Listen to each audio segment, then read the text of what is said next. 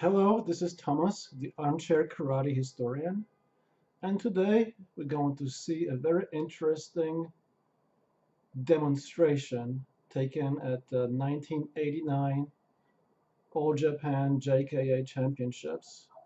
This is a demonstration which includes Mikio Yahara and Richard Amos. If you ever happen to find this book anywhere, Chasing Bushido by Mr. Amos. I recommend that you get it. It's a very interesting book which pretty much traces um, Mr. Amos's steps from the time that he began studying karate until the time that he went to Japan. And there he took place or participated in the special instructors program and was one of the very first Westerners to complete that program. Now what's interesting about this particular demo that we're going to watch today is that it is a part of a longer videotape which I recall when I was actually training JKA style karate back in the, the late 1980s, early 1990s. This tape was passed from student to student and the quality of it was even worse than the one we're going to see here. And the reason why, of course, was this was back in the days of the VHS tapes where everybody used to copy off everybody else's tape, and eventually they ended up looking, oh, well, pretty much, it was almost difficult to, to tell what you were looking at on the screen. So the quality of this particular video is poor, but it's not as poor as the quality of the one that I used to have was. Now the entire video is actually worth watching and I wholeheartedly recommend it to anyone who is interested in the history of the JKA and Shotokan. Uh, the 1989 All Japan tape includes all of the finals, meaning the top eight competitors for both male and female kata and kumite.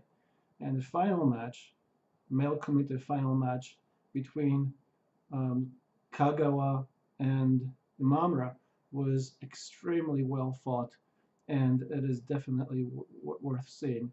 It is also a rematch of, uh, of the prior year's final between the same two fighters. Now the prior year, the final was won by Imamura. Now, if you want to know who wins in 1989, please watch the entire video.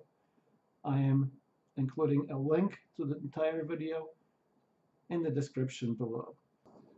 Also, another interesting fact is that the, this particular final was fought just prior to the big split, the 1990 split of the JK into two factions, the Asai faction and the Nakahara faction, and of course, as many of, uh, of you know, uh, Kagawa, he went with the Asai faction and Imamura stayed with the Nakahara JKA faction.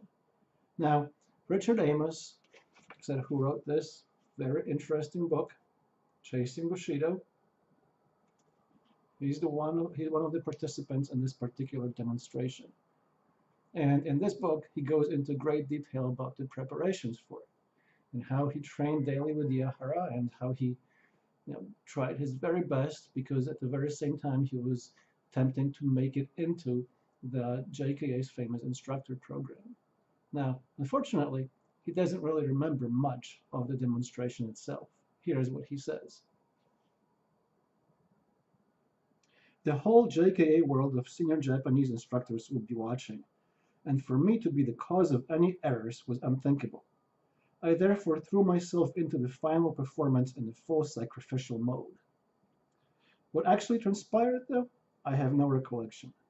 As if in a dream, time passed, but I was not present, and I only have the video evidence to confirm it actually happened. He did do a good job, though, as we can see from the video itself. Finally, I do want to recommend this book once again. Richard Amos, Chasing Bushido. I think of it as an update of Nicol's Moving Zen, there are obvious differences, moving Zen took place way back in the early 60s. This is late 80s. Um, Nico went to Japan as a white belt. Richard Amos was already an advanced karateka by the time that he started training at the main JKA dojo. But it's still, nevertheless, a very, very interesting read. If you're interested in that kind of a behind the scenes dirt about things that were going on, Chasing Bushido by Richard Amos is a really, really good book to read. Now, without further ado, here is that famous or infamous Yahara Amos demo at the 1989 All Japan Championships. Thank you for watching. それではここで男子の組手準決勝の前に演舞をご覧いただきます演舞は椅子取りです この椅子取りというのは内藤さんどういう演舞になりますか？そうですね。鳥というのは空手の技を分かりやすく見せるためのデモンストレーションなんですけれども特にこの椅子取りというのは椅子に座ったところを相手から攻撃された場合にどのように対処するかというところを見せるためのものです。当初は空手の普及のためにこういうことが考案されたわけです。もう実践に即した演舞ということですね矢原幹夫六段です。そして外人の方もこれは出てますね。そうですね、えー、イギリスから来たリチャードさんですね。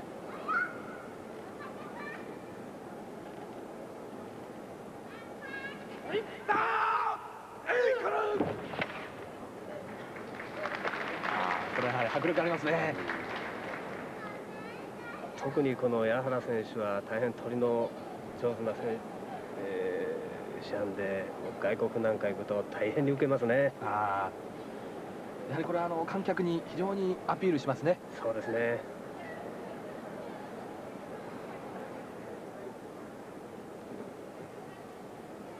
左側はイギリスのリチャードさんです。この大会は外国の方も随分応援に来てましたね。そうですね。そして団体戦ではベルギーオーストラリアイランなんかが参加してますしね。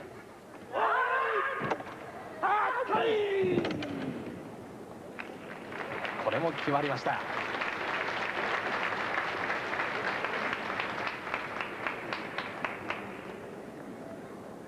しかしこれはあのきちんと練習をしてから臨まないと危険ですね。そうですね。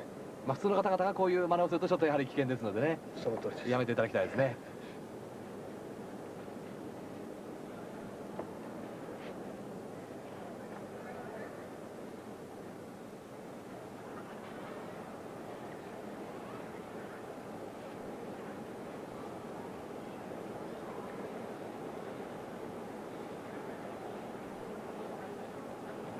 今度は後ろからいきます大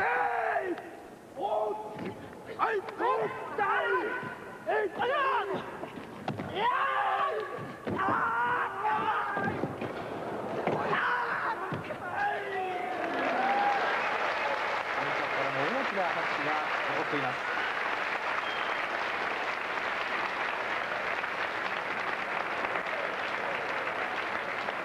この矢原選手は実際に選手の時も試合で実際にこういう技を使って、えー、大変観客を喜ばしたもんですね。飛んだり、えー、地下にも、えー、地べたに潜ったりですね、えー、いろんなことをやりました。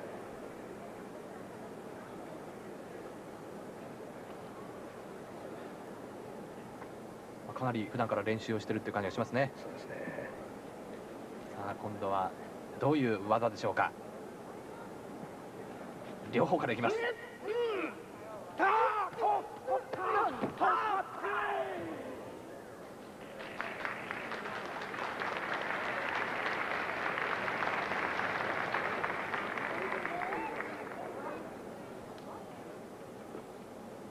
受ける方のタイミングも非常に難しいですね。そうですね。一つ間違えると当たっちゃいますからね。えー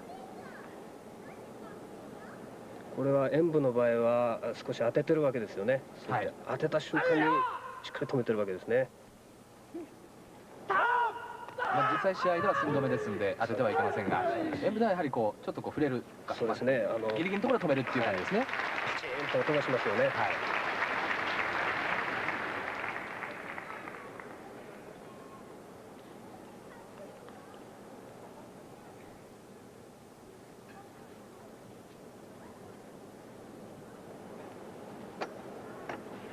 これはいろいろな場面があるわけですね。そうです。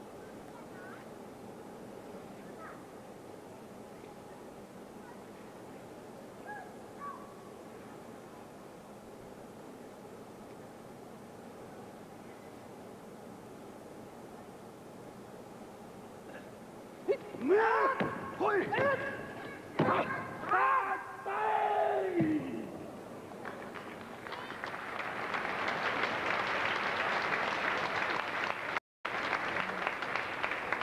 の斬新ということがえー空手の演舞にこう引き立てる一つの要素ですね。はい、まあ、その斬新と言いますのは、まあ、心を残すというふうに書くわけですけれども、そうですね。もう少し具体的に言いますと。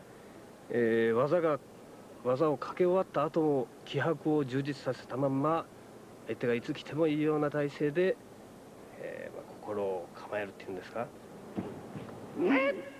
まあ、いかなる時でも隙を見せないということになるんでしょうかね。まあ、今度は飛び入りですね。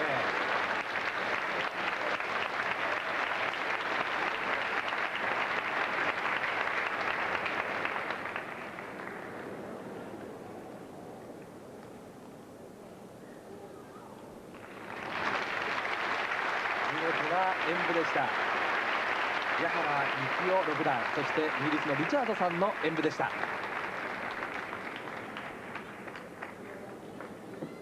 りこう熟練性が非常に高いっていう感じがしましたね。そうですね。